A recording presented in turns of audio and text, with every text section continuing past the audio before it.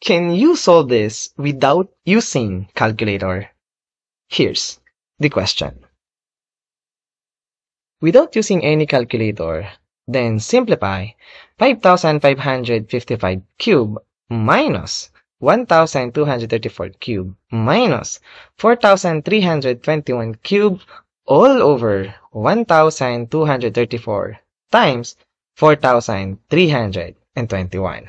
You can pause this video if you want to give this problem a try.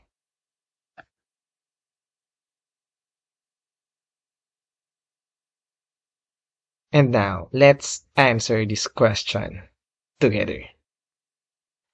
Alright, so our goal is to simplify this expression without using any calculator.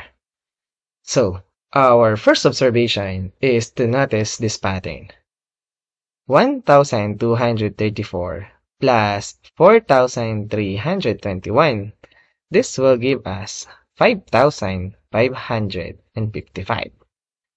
So now, if we let A equals to 1,234 and B equals to 4,321, we get something like A plus B must be equal to 5,555. And now our expression becomes something like this. A plus B raised to 3 because this is 5,555.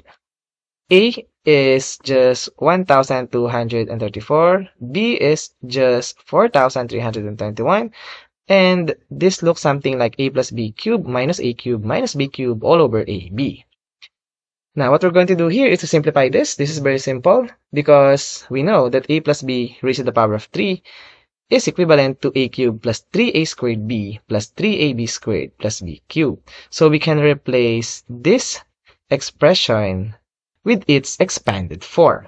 So if we do that, we get a cubed plus 3a squared b plus 3ab squared plus b cubed minus a cubed minus b cubed. Now notice that we can cancel out a cube on the numerator and also b cube on the numerator.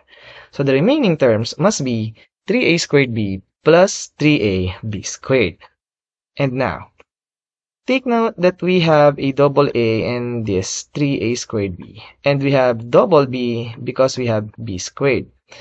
So the common term on these two terms must be 3ab. So we can factor out 3ab on the numerator. So this becomes 3ab multiplied by a plus b. Again, we can cancel ab on the numerator and ab on the denominator. So this simplifies to 3 times a plus b. But we know the value of a plus b.